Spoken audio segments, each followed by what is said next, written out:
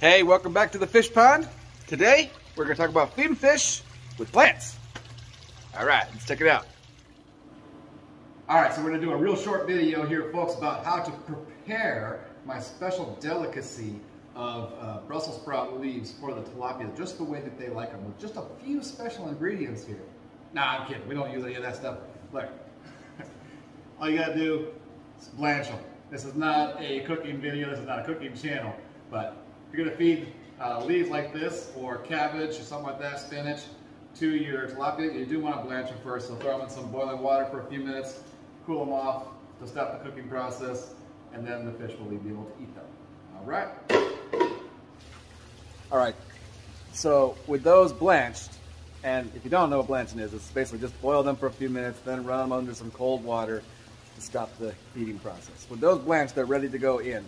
Um, I just find that if I don't blanch these, the, the fish don't eat them. But after I blanch them, they'll gobble them right up. Um, additionally, I just feel like if you boil them, that's going to help to sterilize them. If there's any um, microorganisms, bacteria, any kind of life on them from being out in the garden, well, sterilizing them before putting them into the fish pond is probably a good idea so that I don't introduce something I don't want in the pond. Otherwise, once they're blanched, they're ready to go. Now you could, I suppose, take the stem off of here, but what I find is that they will eat most of the stem except for maybe the last few inches of it, and then I'll find that floating in the pond a couple days later. I just take it out and toss it aside. So there you go.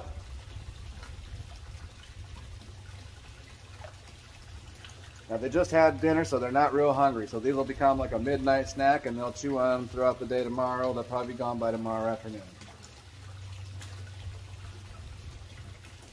All right, now the water hyacinth over here. This stuff.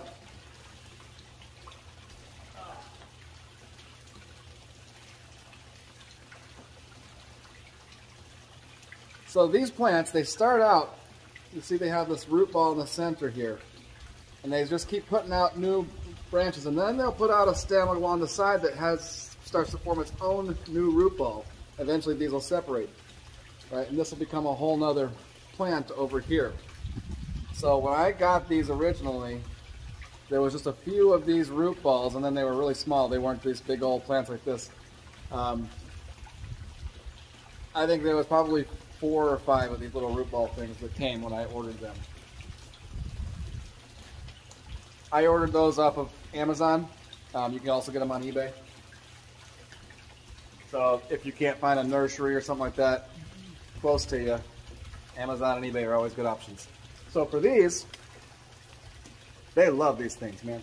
If I throw some of those out there, they'll start chewing on them. You'll see them taking that plant, and then within a matter of oh, hours, they'll have the whole plant gone.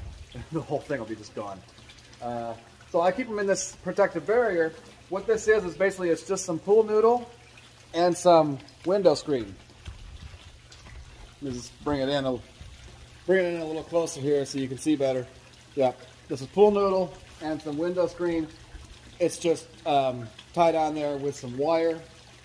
I had done before with those smaller ones over there. I had cut down the pool noodles, smaller size. That didn't work as well as leaving them in their whole size. That keeps it. Um, well, the other ones they just started to lose their form, then they start to sink under the water. Additionally, the fish want to get in there, so they try. Uh, if there's food that's in there, even not just the plants, but if I, there's, a, there's a fish food that goes into them, well, I've found lots of fish caught up inside of these things, and uh, they'll wreak havoc on it. They can injure themselves with the wires that are poking around inside of there. So we don't want that. The bigger pool noodle helps to keep that from happening. Um, although I have found some of them in here. Little fish, the little minnows and stuff like that, I got lots of minnows in here. I'll find those in there all the time. But who cares if they're in there? All right, now this stuff here is water lettuce. And um, I haven't experimented too much with feeding them the water lettuce because that's I'm still trying to get enough of it that I'm happy to go ahead and give some of, to, some of it to them. Although they have gotten access to some of it and they gobbled it right up. They enjoyed that too. Uh, this stuff, when I got it, it was just one plant. I only got one.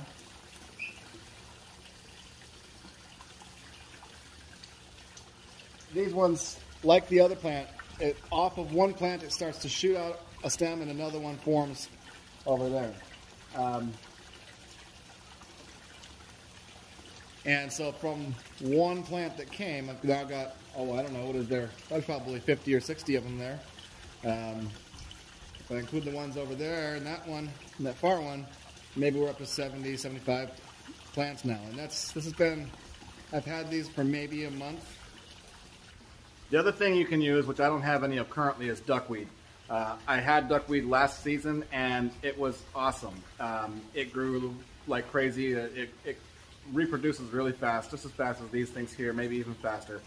And the fish love it. I mean, as soon as you put some of it in the water, they're after it. They're, they're attacking these things all the time, trying to get it. So it's probably their favorite of the plants. Um, it didn't survive the winter for me here, and so I guess if you were going to try to continue to have it throughout the winter without having to repurchase it, you could probably keep some indoors or someplace where it's protected.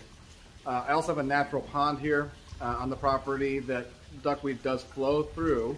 And I meant to grab some of that this season and, and start it again in here. Just haven't gotten to it. I just, our pond out here I know has a whole bunch of stuff in it that I don't really want the fish eating. You always have to be kind of conscious when you're introducing something new into the pond that you could be introducing some uh, parasites, some bacteria. It's something that you don't want the, uh, the getting into your fish. Um, and so be conscious of that. But what you can do is you can actually give it a bath in some hydrogen peroxide. And that is supposed to uh, actually, you know, kind of sterilize it and get it ready to go in there. Of course, I don't have a microscope that I've looked under to see if that's actually worked. um, but that's what I did last with these plants here, and it doesn't seem like I've created any kind of problem. So I may gather some duckweed out of the back pond and do that with it and try this again here. But you can always, like I said, buy these things on Amazon or eBay. I've gotten duckweed from there. Just know that when they come, they're gonna stink, right? And people complain a lot in the reviews about those things. Man, they're pond water that's been sitting enclosed in a capsule for several days and maybe even in the heat. Um, it's gonna stink when you open it up. The smell goes away, all right? That's just natural. So don't be, don't be alarmed when you see that. Uh, anyways, other than that, I've used um, pak choi before as well. Uh, you could probably use, uh, I'm gonna try using sweet potato vine and see how they like that. There's probably tons of greens that you can use, spinach and whatnot. Uh, so don't be afraid to try some things out. Maybe do some research if you're concerned about it. Um, if it's good for humans, it's probably okay for them too. Some plants are gonna have a, a high protein content, which is what your fish need, and some are not. And so obviously if you are gonna try to use a lot of plants for their food, then make sure that they're getting enough protein. Uh, that's probably about all I've got at this time that I can say about feeding plants. And uh, I thank you for watching. If you have any questions about it, any comments, any other tips or advice that you think I could uh, benefit from knowing, and also the other viewers, then please drop them down below. And I thank you so much. Have a great day.